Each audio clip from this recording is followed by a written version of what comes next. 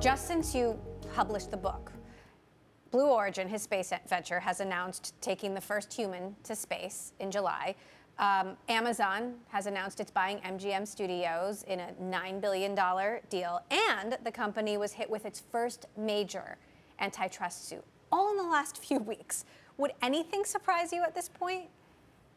None, none of those really surprised me, but hopefully I can take them each one by one. You know, Blue Origin announced uh, an auction for tickets on, on a, a, New Shepard space flight. They have been testing this thing for years and years, and they say they'll bring test, test astronauts up in July. They have missed a lot of their benchmarks. I have a very critical chapter about Blue Origin in the book. I think that is still, you know, success there is still up in the air. MGM, I, I tell the story of Amazon's migration into Hollywood, bringing content to replace two-day shipping as the core benefit of the Prime ecosystem.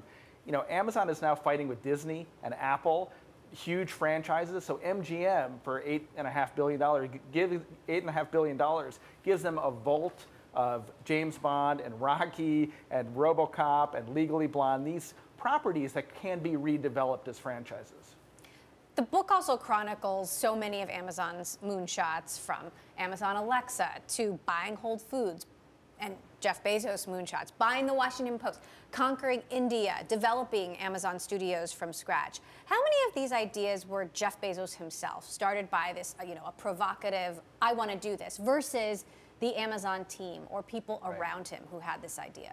They like to say that it's a decentralized culture with ideas springing from, from the bottom. As I've I think, peeled back the layers in, in this book and in my first Amazon book, it is remarkable how often that there at the center, in, at the origin, is Bezos with an email to his executives. We should build a $20 computer whose brains are in the cloud, controllable by voice. That was the original email behind Alexa.